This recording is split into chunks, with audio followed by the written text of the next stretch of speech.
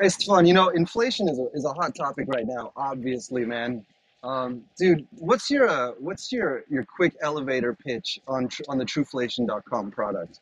Well, it's not really an elevator pitch, but I'll tell you what it is. It's basically inflation is based on a calculation and a framework that was developed one century ago. That's 100 years. That's back in 1920 when it was developed, based on a basket that was built out.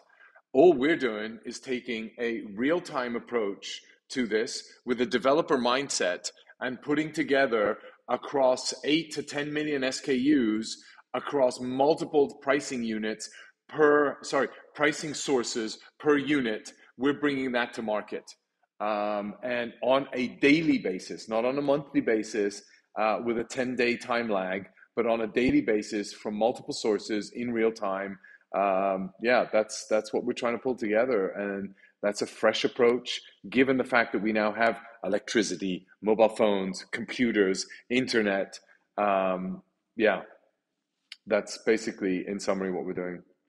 Oh, right on, man! I can't wait to watch that one grow.